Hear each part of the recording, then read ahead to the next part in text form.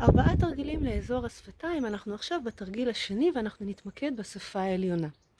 אנחנו נכניס את הלשון אל, ה, אל הרווח שבין השיניים והחך לבין השפה, וניצור לחיצה של השפה עצמה לכיוון הלשון, עם לחיצה עדינה של הלשון לכיוון השפה, כדי ליצור התנגדות.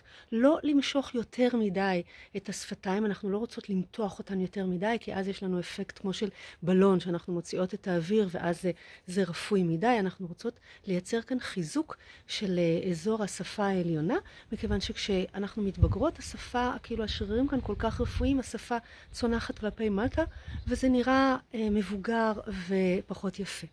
אז בואי נתחיל, אנחנו מתחילות עם עשר שניות, בהמשך את יכולה לעלות עד לדקה, ואף פעם לא לעשות יותר משלושה מחזורים של כל תרגיל.